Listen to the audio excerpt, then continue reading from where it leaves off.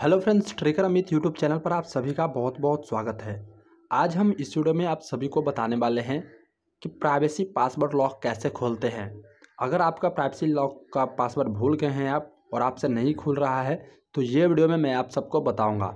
और एक बहुत ही अच्छी बात कि बिना कोई डाटा डिलीट किए ही आप प्राइवेसी पासवर्ड को खोल सकते हैं। अगर आपका लॉक हो गया है, आप पासवर्ड भूल गए हैं और आप अपना डाटा भी डिलीट नहीं करना चाहते हैं और आप अपना प्राइवेसी पासवर्ड का लॉक खोलना चाहते हैं तो ये वीडियो को आप शुरू से अंत तक पूरे ध्यान से देखना। इस वीडियो में मैं आप सभी को पूरा सॉल्यूशंस पूरा प्रैक्टिकल करके दिखाऊँगा कि कैसे आपको प्राइवेसी पासवर्ड को फॉरगेट करना है। दोस्तों, अगर आपको वीडियो अच्छा लगे तो वीडियो को लाइक करना। चैनल पर पहली बार आए हैं, आपने हमारा चैनल को सब्सक्राइब नहीं किया तो चैनल को सब्सक्राइब कर लेना। तो चलो गाइज़ इस वीडियो को स्टार्ट करते हैं। तो सबसे पहले हम उस एप्लीकेशन पे चले जाते हैं जो एप्लीकेशन हमारा प्राइवेसी से लॉक है। तो हमारा ये वाईटी स्टूडियो लॉक है, हमें इसका पासवर्ड पता नहीं है।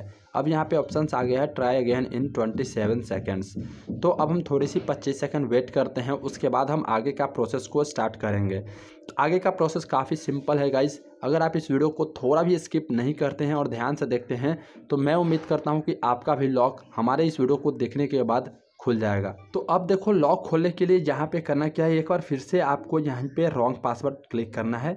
इसके बाद आपको यहाँ पे फॉरगेट पासवर्ड के बटन पे आपको क्लिक करना है। इतना करने के बाद आपके सामने यहाँ पे पूछेगा रिसेट फ्रॉम सिक्योरिटी क्वेश्चन और एक पूछेगा reset through recovery email address अगर आपके पास सिक्योरिटी क्वेश्चन का जवाब है मतलब अगर आपको टीचर नेम पूछा जाए और आपको ये टीचर नेम का आंसर पता है तब तो आप एक चुटकी में खोल सकते हो। लेकिन अगर आपको इसका टीचर नेम पता नहीं है तो आपको जीमेल आईडी से खोलना पड़ेगा। अब बाई दुबे हम, हमें तो इसका टीचर नेम पता ही नहीं है क्या है। हमें टीचर नेम गलत बताता है, नहीं पता है। तो आपको लॉक खोलने के लिए करना क्या है गाइज़ लॉक खोलने के लिए आपको यहाँ पे रीसेट थ्रू रिकवरी ईमेल के ऊपर क्लिक करना है। इसके बाद आपके सामने इस तरह से इंटरफेस आएगा तो यहाँ पे आपको करना क्या है? यहाँ पे जो ईमेल एड्रेस दिया गया है, ये ईमेल एड्रेस के ऊपर आपको एक ओटीपी जाएगा, लेकिन आपको ये ईमेल एड्रेस पहले यहाँ पे डालना पड़ेगा। तो मैं अपना ईमेल एड्रेस यहाँ से डालता हूँ।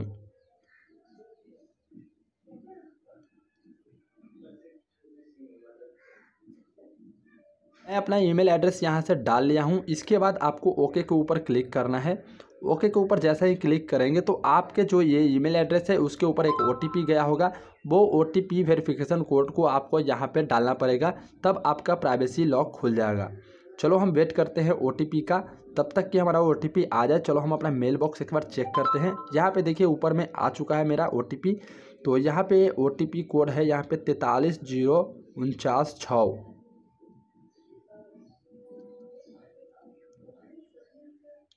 मैंने अपना ओटीपी को यहाँ पर दर्ज कर लिया है।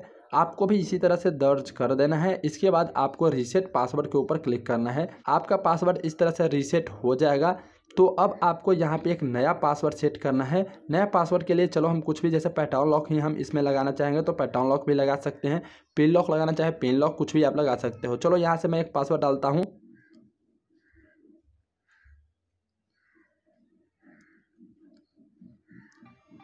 फिर से आपको कन्फर्म करना है। इसके बाद देखो प्राइवेसी पासवर्ड सक्सेसफुली रीसेट हो जाएगा। मतलब आपका privacy password hundred percent change हो गया है, बदल गया है।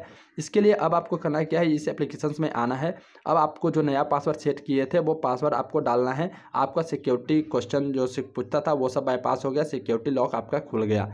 तो इस तरह से जो है, वो आप अपने फ़ोन के अंदर में प्राइवेसी पासवर्ड लॉक को काफ़ी आसानी से खोल सकते हैं। तो दोस्तों, आप हमें बताना कि आपको हमारा ये वीडियो कैसा लगा। अगर आपको वीडियो अच्छा लगा होगा तो वीडियो को लाइक करना। चैनल पर पहली बार आए हैं, चैनल को सब्सक्राइब नहीं किया तो चैनल को सब्सक्राइब करना। चलो गाइज़ मिलते हैं अगले वीडियो में। टेक केयर बाय बाय जय हिंद बंदे मातरम।